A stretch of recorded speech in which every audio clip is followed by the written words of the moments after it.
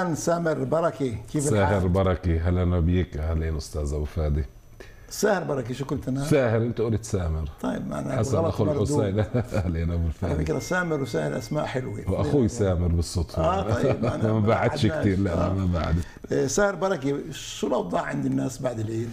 والله الأوضاع اليوم آه، مش مريحة كثير حتى قبل العيد وحتى اليوم بعد العيد لأنه كان في مصاريف جدا كبيرة في فترة العيد وشفنا بقدر أقاطعك على السريع هيك. تفضل. وتكمل بعدها قد ما بدك. ما دام الوضع هالقد سيء ومش منيح هيك كيف بتفسر الاعداد الهائل من الناس اللي طلعت برا في العيد هذا؟ مش بس برا مش بس مش بس بالمدن داخل الخط la Masr, la Dubai, لدول أوروبا لا كثير لا لتركيا لا بعدين نرجع لتركيا صحيح. كيف بتفسر؟ يعني الواجهه بشكل عام خصوصا لعرب الداخل هي تركيا يعني أكثر مكان بس مفضل تركيا ما ولكن اليوم كان مغلق. نحكي عنها بعدين طبعاً. أسألك عن قصة المقاطعة وهيك ف... ف... فالناس انجبرت إنها تطلع يعني حتى نقول الناس عم تستغل فترة العيد اللي خلال العام أو خلال بجوز إحنا. بنبالغ ساهر ممكن كمان يعني بس إحنا بنقول إذا ما في حاجة والوضع الاقتصادي صعب يعني ما في حاجة مثلا نلجئ لقروض معينة عشان نقدر نسافر. يعني اللي وضعه ممكن أو اللي جمع حوش شوية بخصوا الناس قروض بخذوا الناس ساهر آه. بخذوا الناس قروض مشان يسافروا؟ طبعا لأنه السفر اليوم مش بتعرف ناس أنت هيك ولا بس حكي؟ بعرف ناس هيك وكثير بنسمعها وبعرف من اللي بيعطوا قروض كمان والبنوك كمان. كثير إلنا يعني صلة مع الناس اللي في البنوك وبنعرف إنه القروض عم تتاخذ لهي الشغلات. مش مش بس لهي الشغلات طبعا ولكن إحدى يعني قسم من القروض عم بتاخذ لشغلات إنه الواحد يسافر. طبعا خلال السنة ممكن كمان ال- الواحد أو رب العالم إنه يجمع أو يحوش شوية أموال لا خصوصا لفترة العيد اللي يطلع يسافر فيها. يعني فترة العيد شو اللي بيميزها إنه بس لفترة العيد ساهر ليش شو اللي بيميزها عن نحكي إنه فترة العيد بتشوف كميات هائله إنه الأولاد ما في عندهم مدارس رب العائلة ما في عنده عمل ربة العائلة أيضا إذا بتعمل إيه، في عندها شغل كمان ممكن تكون قاعدة عن شغلها. فهن بيستغلوا هاي الفرصة لإنه ما في عندهم عمل ال ال الرجل والمرأة والأولاد ما في عندهم مدارس. فاليوم إيه، مفضل يعني إنه ما نسافر بشكل دائم لأنه السفر عم بكلف إيه، مبالغ جدا طائلة يعني بتعرف اليوم العيلة اللي سافرت حتى على شرم الشيخ اللي هو المفروض يكون يعني نسبيا أسعاره مش عالي ولكن اليوم عم بتشوف إذا في عائلة طلعت لمدة أسبوع دفعت ال 20000 شيكل 20000 شيكل هي شرم الشيخ. طبعا هي مبلغ مش قليل مبلغ جدا كبير. طبعا بتفاوت أي فندق ممكن يكون أقل وفي فنادق توصل نص- 40000 عندك كمان. نصيحة أحسن؟ يعني ممكن زي ما قلت الناس شعرين مخنوقين بدهم يطلعوا. صحيح يعني هاي إحدى الأسباب اللي بتخلي الناس إنها تطلع وتسافر لأنه إحنا موجودين في حالة أيضا نفسية نتيجة حرب ويعني حتى نقول من سنة 2020 لليوم إحنا مرقنا في قضيه الكورونا فيما بعد. الأوضاع الاقتصادية يعني سيئة بشكل مستمر من أيامات الكورونا حتى هذا اليوم. إيه عندنا قضية الحرب اللي برضه فوتتنا في حالة سيئة جدا إيه اجتماعية واقتصادية ونفسية. فالناس بدها تطلع. عشان هيك عم بقول لك إنه المفروض مش بشكل دائم إنه الناس تسافر. بس لازم تسافر تنقي هذا ال- ال- التاريخ المناسب حسب رايي التاريخ المناسب أو أكثر تاريخ مناسب للناس نتيجة قضية المدارس وقضية عمل العائلة رب العائلة أو ربة العائلة. اللي ما بيقدروا ياخذوا وين بدهن يعني يطلعوا من أماكن عملهم فبيستغلوا هاي ال- الفرصة. لكن شفنا أيضا الازدحامات على المعابر اللي كان فيها كتير مشاكل لأنه كان في كميات هائلة اللي سافرت بهذا التار- التاريخ اللي هو فترة العيد. وتنساش كمان قضية تركيا اللي مغلقه فالناس ما سافرت على تركيا فشفنا إنه المعابر لشرم الشيخ أو للعقبه الأردن يعني جيراننا اللي كان فيها كانوا فيها طبعا. كان فيها ضغط كان فيها ناس ممكن ضغط أقل ولكن في كتير ناس اللي سافرت للعقبه وأيضا شو بيقدروا يشوفوا بالعقبة؟ في العقبة بلد سياحية طبعا بلد سياحي اللي هي أيضا جميلة. زي إيلات، آه. يعني شوي. قريبة على. إيلات طبعا متلاصقة قريبة لإيلات بالمعنيين. يعني آه. قريبة جغرافيا وقريبة كمان من الشكل وال بالضبط ال- يعني الشكل بالضبط. الشكل يعني يعني بتفوت ولكن هناك يعني أكثر إنه بلد اللي فيها أيضا حركة يعني. لا وبلد عربية. بلد عربية اللي فيها طالع من عمر بحب يكون في بلد عربية. صحيح بفضل صحيح في كتير ناس بتفضل. فالعقبة بلد جميلة يعني مش غالي كثير من ناحية مصاريف هناك مصاريف مقبولة حتى نقول معنا بلد سياحية. بس برضه 20000 إيه، العقبة ممكن تكون أقل شوي ولكن اليوم لما بتطلع لأسبوع مع العائلة يعني مع أولاد عم نحكي إحنا طبعا مش عم نحكي على زوج فقط واليوم غالبية العائلات مع أولادها اللي بيطلعوا خمس أفراد أو ست بيطلع أفراد. العائلات العربية بتطلع مع أولادهم. طبعا فبده ياخذ على الأقل غرفتين ما بكفي غرفة واحدة. لما باخذ غرفتين فدائما أنت بدك تضاعف السعر اللي ممكن تدفعه إيه كزوج عشان هيك بنشوف طبعا غير المصاريف اللي راح تكون خلال السفرة. يعني ما وقفت فقط لمكتب السياحة أو للفنادق. لا أيضا في عندك مصاريف بشكل يومي. هناك بدك تطلع بدك تشوف في فعاليات اللي بيعملوها يعني إحنا في مجال التأمينات بيجوا عندي كثير بيعملوا مثلا تامين سفر فبنفوت أو غالبية التأمينات فيها شيء اسمه ספורט אתגרי اللي هو اللي بيعملوا فعاليات رياضية مثلا بيركبوا على التراكتورونات يعني عندك التأمين إذا صار له شيء وهو بيعمل راكب تراكتورون انت مجبور تف... مجبور تفوته زيادة إضافة للتامين زي أي تأمين بدك تضيف يعني عليه بنود. بيقدروا يغطوه. بالضبط يعني إذا أكثر مصاري بس. بدفعوك عليها مصاري ولكن هالبند بغطيك في حالة لا سمح الله صار إشي معك هناك فبغطوك بشكل عام هو بغطي إذا صار مرضيه أو أي حادث اللي كان مش نتيجة الرياضة اللي عم نحكي عليها.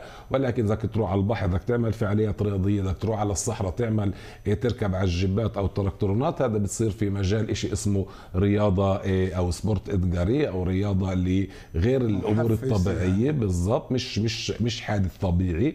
فعشان هيك مجبور إنك تفوتوا في بند زيادة على إيه، بوليس التامين فبنشوف إنه غالبية العائلات راحت تعمل هاي الرياضة. ماشي ولما أنت بتعمل تأمين لواحد طالع بالطيارة على على إيطاليا مثلا شو نفس الشيء في إيطاليا يعني مو أي لحظة ممكن واحد إذا وصل الأراضي الإيطالية والتأمين طبعا بلش من اللحظه اللي تطلع فيها الطيارة من البلاد يعني اللحظة اللي أنت بتغادر الحدود عمليا لحتى ما ترجع تفوت على الحدود. إيه بشكل عام هو تأمين صحي اللي بيغطيك هناك في حالة لا سمح الله صار أي حادث أو أي مرضية بده يفوت على المشفى هناك. طبعا المستشفيات مبالغ طائلة راح تدفع لأنه مش زي عندنا إحنا عندنا بناخذ ولما بدنا التأمين؟ لما تعمل تميم بكون مغطى طبعا. ولكن إذا واحد رايح يعني بوريهم القسيمة في قسمين. التأمين وخلص لا في في قسمين. سؤال كتير مهم. في شركة اللي بتتعامل بقول لك ادفع أنت هناك مصاريف المستشفى بتجيب لنا المستندات اللي دفعت فيها لما ترجع إحنا بنرجع لك المصاري. في شركة اللي اسمها PassportCard تعطيك زي כרטיס אשראי بسموه زي كارت الاعتماد بكون معك في حالة إنه لا سمح الله حدا احتاج. أو ممكن ضيعت الشنتات أو تعوقت الشنتات توصلت أيضا هاي بيكون موجوده خلال التأمين. فبفوتوا مصاري مثلا في ال כספומט في صندوق المال ويقولوا لك فوت الكارت واسحب المصاري مثلا على اليوم 200 دولار أو 300 دولار اللي تمشي حالك لأنه الملابس ما وصلت في كثير أغراض شخصية اللي ما وصلت. وإذا كانت في في المستشفى لا سمح الله إصابة أو مرضية فإني بحطوا الأموال هاي في هذا الكارت بقولوا لك اعطيه للمستشفى والمستشفى باخذ هاي الأموال من هذا الكارت فإنت ما بتحتاج إنك تدفع من جيبك الخاص. حلو. وبالنسبة لل حكينا عن وضع الناس إيه، إنه إيه، بيقدروا يطلعوا على رحلات وهيك. إيه، كمان يعني شفت المجتمع العربي عشان انت بتقول لي الوضع مش أكيد مليح. مش كثير مليح. آه يعني بس بس شفنا يعني أنا ما ما بشكك باللي بتقوله بس شفنا إن المدن العربية زي شفاعمر بلدك وطمره وبجنبكم مجد كروم وكابول وعكا كل الشمال صحيح. آه كانت فاضية. صحيح. صحيح. هذا بوري الناس طلعت. طلعت. حتى في ناس اللي ما طلعت خارج البلاد يعني استغلت هاي الفترة آه. ما قعدت في البيوت. ممكن أول يوم بعيدوا بعيدوا بعض وكذا ف ولكن ثاني يوم ثالث يوم ورابع يوم العيد شفنا إنه الناس خرجت حتى لو داخل إسرائيل يعني داخل البلاد اللي راح على طبرية مثلا على المناطق القريبه علينا في لنا بركات في حديقة الحيوانات في تل أبيب. بتشوف الناس بتنوع فبتطلع يعني بتأخذ هالأولاد عم تستغل الفرصة انه تقدر تأخذ الأولاد والدنيا عيد فبدهم يعملوا أجواء شوي حلوة بعد ما الناس عن جد عايشة في وضع اللي هو يعني يعني محبوسين في وضع نفسي صعب يعني مش عارفين شو بده يصير.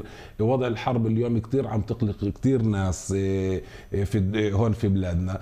فبتشوف إنه الناس استغلت هاي الفترة فترة العيد اللي طلع خارج البلاد ولكن خارج البلاد حكينا ناحية اقتصادية كلفت كثير اللي طلع داخل البلاد طبعا يوم أو يومين ما راح تكيفوا أيضا عنده مصاريف ولكن مش هيك المصاريف الكبيرة.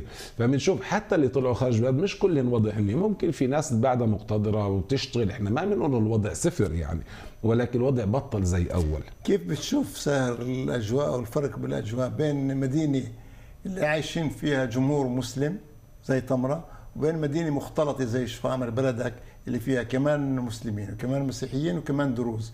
تفرق بالعيد؟ يعني بالعيد لا يعني في طمرة ممكن تشوف أو حتى نوعية البلد في طمرة فيها حسب رأيي مثلا على سبيل المثال إذا بناخذ طمرة شفعمري في مصالح أكثر فيها مطاعم أكثر فيها طمرة. فعاليات أكثر طمرة شفعمر يعني نوعا ما هي بلد هادئة فيها تطور في الفترة الأخيرة صحيح.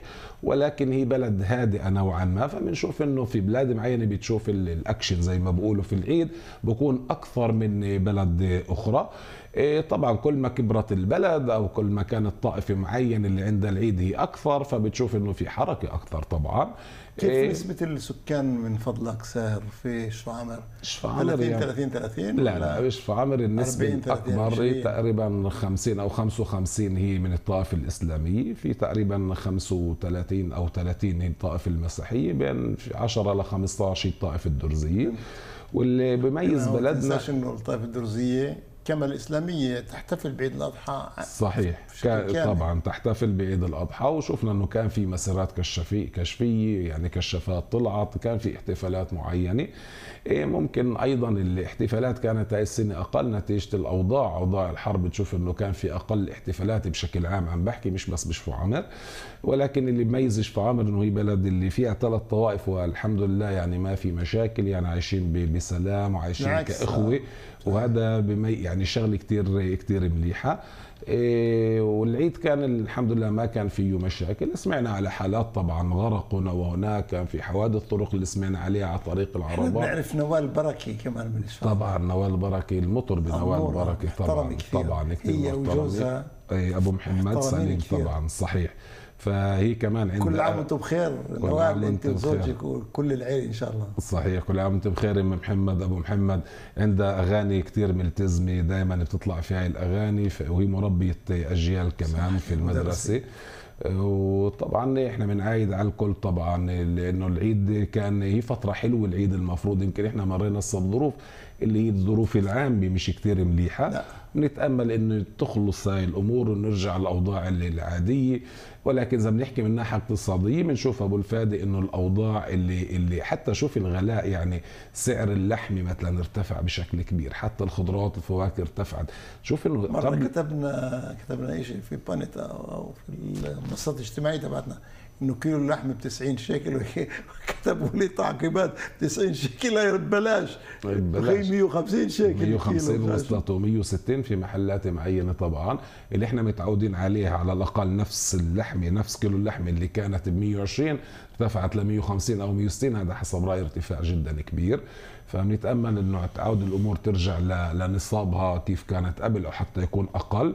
ولكن إحنا عارفين بهاي الفترات حتى نقول الشرك الكبيرة أو المستوردين الكبار بيحاولوا انه يستغلوا هاي الظروف.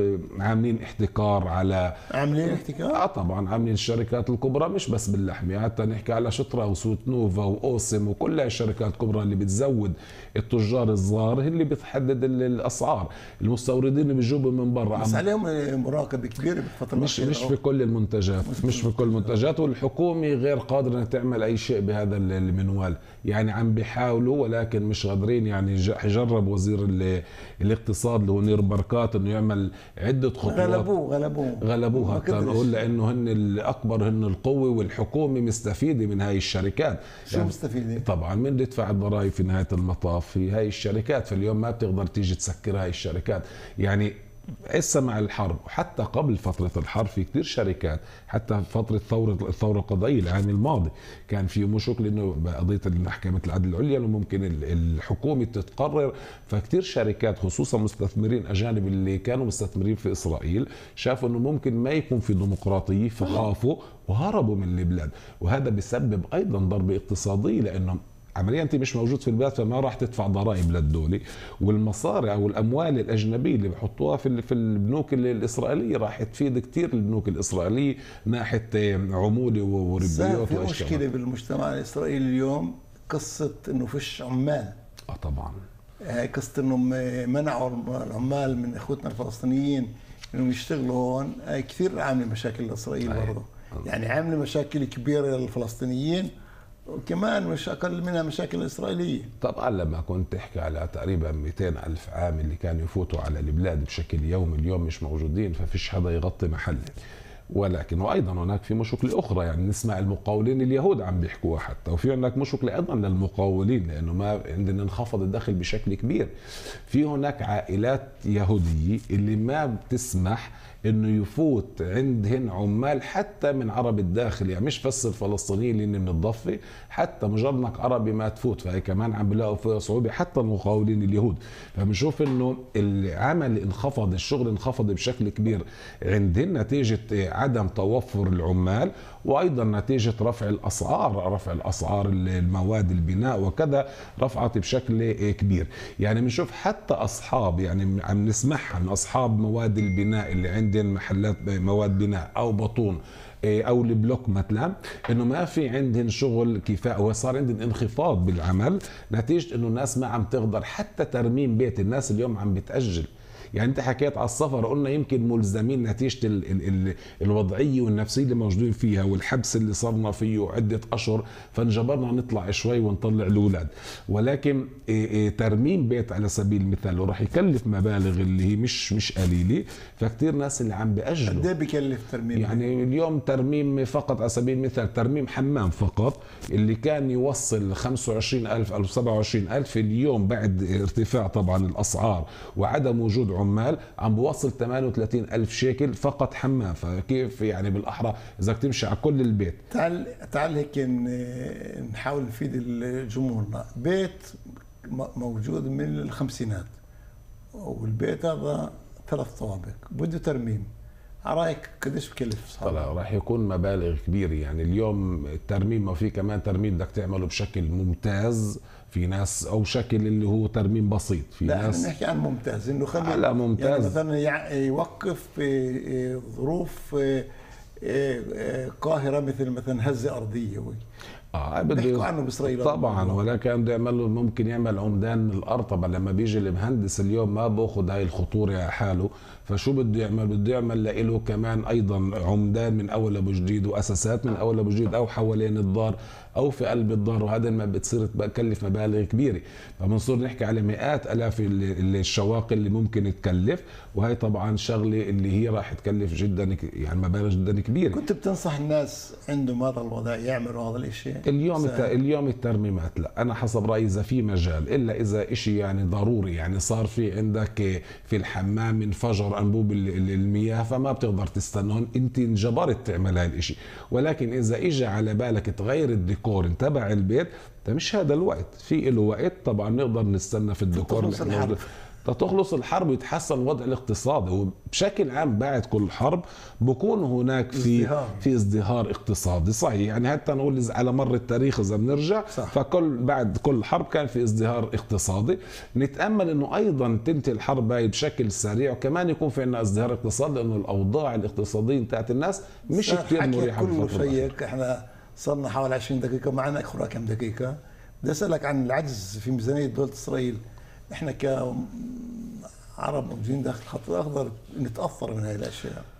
طبعا لأنه في نهاية المطاف مين اللي بده يسد هذا العجز في خزينة الدولة. 20% منه إحنا يعني. هو المواطنين طبعا. وممكن يكون طبعا هاتهم 20% ولكن إحنا ممكن يعني يأثر علينا أكثر. ليش؟ لأنه إحنا الاوضاع الاقتصادية يعني أكثر من 40% من مجتمع اللي تحت خط الفقر. فاليوم إذا بده يزيدوا الضرائب علينا ويزيدوا قضية الضريبة القيمه المضافة مثلا كان في حديث من 17 يزيدوها ل 18 وفي حديث أيضا ل 19% إحنا اليوم ندفع ضريبة قيمة مضافة على كل منتج إحنا بنشتريه من كيس الحليب لأكبر منتج بنحتاجه رايحين ندفع القيمة المضافة. السياره فطبعا عشان هيك إحنا بندفع كثير مبالغ إحنا بنشعرش فيها. فاللتر البنزين فيه ضريبة قيمة مضافة. فيه أيضا شيء اسمه بلو. لتر البنزين اليوم هو 7 شيكل ونص تقريبا على سبيل المثال. الثلث تبعه فقط سعر الوقود. ولكن الثلثين هن إيش هن عمليا ضرائب. ضرائب اليوم اللي الكهرباء عم تدفع عليها ضرائب يعني اليوم في كتير ضرائب الحكومة بتقدر تختصرها على المواطنين ولكن في هاي نتيجة الأوضاع اليوم اللي إحنا موجودين فيها لما بوصل العجز خلال العام الأخير 137 مليار شيكل فهي مجبورة تسده تسكره عن طريق مين؟ عن طريق المواطنين عن طريق فرض ضرائب أخرى أو إنزال التخفيضات على ضرائب معينة. بس بدي أسألك سهل لو هذا الوضع موجود في في لبنان أو في سوريا أو في الأردن بديش أقول مصر أنا مصر دولة كبيرة ما كانش يعني ما كا- كان بيقدر يعني يعمل نوع من الإفلاس لدولي كيف بتفسر طلع يعني- كل الأشياء إلا إنه صحيح. يعني هنا مزبوط الأوضاع صعبة وهيك بس لحد ما مش الناس مش ميتة بالجو بالشوارع مرمية وهي جعانة بتاكل شو هيك صحيح بتصير؟ إحنا إحنا في شيء اسمه تأمين وطني اللي هو بيساعد الناس اللي مش عم تشتغل سواء في البطالة أو اللي طلعوا الحالات اللي هي إيه، اجازه مش بدون. دفع مثلا أو إذا واحد عنده إصابة معينة فباخذ عن طريق التامين الوطني. إذا بتفوت على المستشفى ما بتدفع غير 20 شيكل حتى بدك تعمل عملية لأنه أنت عم تدفع التامين الوطني عن طريق ال- ال- تلوش المسكورة اللي هو القسيمة ال- بالضبط الأجور يعني. أو إذا أنت مستقل عم تدفع كمان أيضا التامين الوطني. فهذا الشغله كتير بتساعدنا. طبعا إحنا ما فيش حدا ميت من الجوع هون ولكن في أوضاع صعبة اللي ما بيقدر يتحرك أو حتى نقول بكون يعني في الأشياء الأساسية اللي بس بيقدر يجيبها ما بيقدر يطور حاله أكثر من الأمور الأساسية. في ناس اللي وضعها منيح اللي عم تشتغل وضعها بعده منيح ممكن مش زي أول ولكن وضعها بعده منيح. اليوم دولة إسرائيل عم يعني حتى إذا بتسمع نتنياهو بقول لك دولة إسرائيل اقتصاديا هي قوية هي مش مش ضعيفة اقتصاديا. ولكن عم نسمع إنه العجز عم بيزيد بس أنت ما جاوبتش على سؤالي أنا شوية هيك عندي حب استطلاع. 137 مليار دولار. إنها تكون شكل شيكل. شكل شيكل. إنها تكون عجز بميزانيه الأردن. هاي كارثة. ممكن. ممكن يكون كارثة هناك ولكن هون ممكن كمان في دول اللي بتدعم إسرائيل ممكن كمان تنساش. إيه. شو ما شو ما شو ممكن؟ أكيد في. أكيد. فعشان هيك يعني إنه هاي الشغلة مهم إنه في عندها من خارج أيضا تمويل سواء كبير. دول ربما كمان يهود آه، من دول أخرى. يعني دائما صحيح. وأمريكا طبعا هو الرئيسي راسهم. طبعا على راسهم فبنشوف إنه عندها تمويل من الخارج. عشان هيك نتنياهو دائما يعني إحنا ما بنقدرش قديش نعرف قديش هالكلام سليم ولكن هي اقتصاديا هي قويه إسرائيل ولكن هذا العجز ممكن يسبب ل أمور اللي تسبب لعجز معين اللي اللي في نهاية المطاف المواطن إيه يعني نقول يعني بدها تسبب مشكله لجيبة المواطن لأنه أيضا لما بحالة إنه بيرفعوا الضرائب المواطن هو اللي بده يدفعها طبعا الضرائب ممكن تمويل من الخارج ممكن ممكن في لمصر تنساش قضية التدريج الائتماني ليش أنا بقول لك ممكن يكون الوضع عاطل؟ أو أسوأ طبعا. نزلوه اليوم تقدرش الدولة تأخذ قروض من خارج البلاد من البنوك الدولية. إذا بدها ترجع القروض الموجودة بترجعها في في فوائد جدا كبيرة. فبتشوف إنه الدولة يعني في وضع اقتصادي حسب ال- الورق هي مش مش يعني مش بوضع ممتاز. ولكن مش بوضع مثالي. مش بوضع مثالي أو وضع مليح أو وضع جيد. ولكن من ناحية أخرى بنشوف إنه الدولة زي ما حكيت أنت بعدها واقفة على اجريها وعم تعطي وين لازم تعطي؟ عم تعطي. 对 في عندها كتير مصاريف راح يكون. حتى بعد الحرب في كتير ناس اللي كانوا عايشين في بيوت اللي مش عايشين اليوم على الحدود مثلا الشمالية أو الجنوبية اللي هن مجبورين يعطون هاي المصاريف كلياتها. فراح يكون في عندهم مبالغ جدا كبيرة يدفعوها. ال- السؤال إذا بنقدر يمولوا هاي المصاريف أو هذا العجز من من الخارج فالوضع راح يضل إيه، مستتب طبعا. والأفضل الأفضل طبعا هتنتهي الحرب لأنه ساعتها بتوقف مصاريف الحرب وممكن ينتعش الاقتصاد يصير في عمل أكثر. الناس تصير تشتغل أكثر فكل ما كان في شغل أكثر وانتعاش أكثر حتى خزينة الدولة ممكن تنتعش أكثر لأنه فوت عليها مصاري إيه، بدي أكثر أسألك آه، ساهر بركة آه، أنت اقتصادي ومستشار ضرائب وأنت وكيل تأمين من شفا عمر بالنسبة لل كيف الأشياء ماشية بالنسبة ل في الوقت الحاضر في شبكات ملابس عم بتسكر في مشاكل بين إسرائيل وتركيا إيه، بتبادل ال- التجارة المشتركة بينهم. الإسمنت والحديد كثير صحيح. أشياء. خاصة يعني. حتى حتى الجمهور العربي داخل الخط الأخضر قسم كبير منه تضرر. بتأثر من- طبعا. آه. وفي وفي أشياء ثانية. خلينا نحكي عن تركيا مش عن أشياء ثانية. شو رأيك هذا الوضع؟ يعني تركيا يعني بل هددت وانه في مقاطعة معينة اليوم في قضية خصوصا في مقاطعة. مقاطعة، مش هددت في البداية طبعا اليوم في مقاطعة. فعليا. طبعا في كثير من حتى المنتجات. بندوره مرة كانوا يجيبوا من هناك. صحيح كان كثير منتجات ولكن المنتج الأساسي اللي كانوا يجيبوه هناك هو الحديد والإسمنت. بنشوف إنه كثير مصانع الحديد يعني في تركيا كانوا يجيبوه بمبالغ زهيد يعني أرخص من الموجود هون من ان هن ينتجوه في في إسرائيل. فكانوا يجيبوه من من الخارج. فشو صار عندي؟ لما سكروا ال- المصانع الحديد صار عندي المشكلة لما تركيا وقفت هذا التصدير. فبنجبروا طبعا يدوروا على أماكن أخرى اللي يصدروا منها. أو يستور يستوردوا منها عمليا. فهذا الاستيراد لما بيجيبوه راح يكون ممكن يكون في مبالغ أكبر من الاستيراد الأول عشان هيك بنشوف في غلاء في مواد البناء اليوم غير إنه فيش تركيا نفسها بتخسرش من هذا الوضع الجديد؟ يعني هي طبعا ممكن تخسر ولكن يعني, يعني مثلا كان آه، أكيد مين زيك بعرف كان مثلا عدد هائل من الناس يسافروا على تركيا للسياحه صحيح. عدد هائل. صحيح. وأقول لك يعني الجمهور العربي داخل الخط الأخضر كان بأعداد كبيرة يروح. صحيح. اليوم ما بروح. الوجهة كانت طبعا لتركيا إنه هناك الفنادق مريحة بتفوت منت والعيلة مثلا في عندك كل شيء متواجد. يعني مش كلكالي تركيا في هذا يعني طبعا بيأثر عليها ولكن في أمور الظاهر اللي هو الأمور السياسية اللي هي أكبر من الأمور هاي ال- الاقتصادية بالنسبة لها أكيد أثرت ولكن تركيا أيضا بتصدر لاماكن أخرى مش بس لإسرائيل. طبعا كل شيء اللي اليوم بيقل عندك أو بيقل يعني التصدير فيه لهذا المكان فممكن يقلل لك الدخل. السياحة طبعا أيضا جدا مهمة. اليوم بنشوف في في حتى عندنا في إسرائيل شوف إنه كثير ناس اللي مش عم بيجوا على على على سياحه للدوله شوف الفنادق كثير وضعها مش زي أول طبعا وضعها أسوأ بكثير إيه مثلا الباصات شركات الباصات المرشدين السياحيين إيه حتى أصحاب التاكسيات. بتشوف إنه في هناك ركود معين نتيجة إنه ما في عندك سياحة. فالسياحة بتنعش طبعا الاقتصاد سواء في البلد نفسها أو في الدولة نفسها.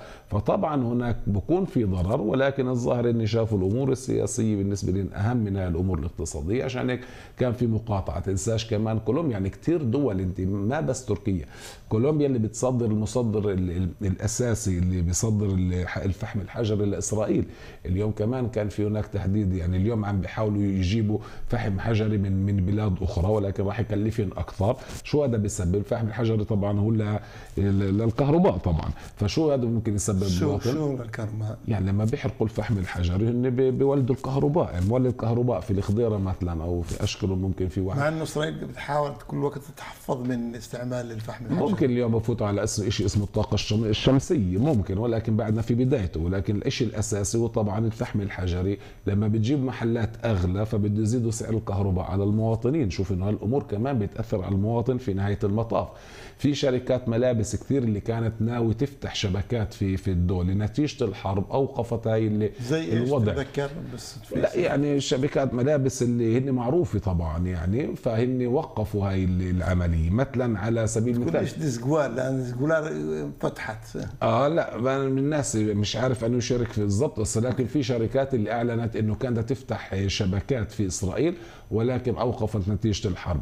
في معرض في باريس للأسلحة اللي ما بس ما ما سمحوا ما للاسرائيليين بد- يفوتوا. بالضبط ما بدهم يستدعوا إسرائيل. فهنا بتعرف قديش في خسارة ما بيقدروا يبيعوا أسلحتهم إسرائيل. فهناك أيضا في خسارة اقتصادية. بنشوف إنه المقاطعة جدا كبيرة ل- لدولة إسرائيل نتيجة الحرب. وأيضا هناك مقاطعة كانت قبل الحرب. في يعني العام الماضي كان في قضية الثورة القضائية.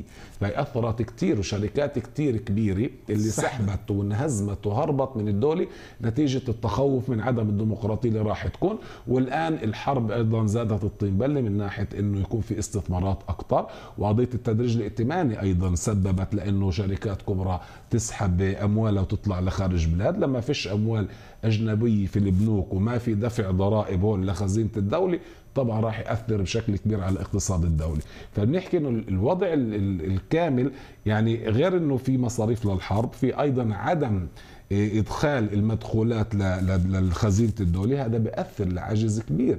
والعجز عم نحكي العجز هو عمليا المصروفات أكثر من المدخولات. سهر بركة تعال نرجو أنا وياك إنه تخلص هاي الحرب وفي حالنا من هاي الحرب.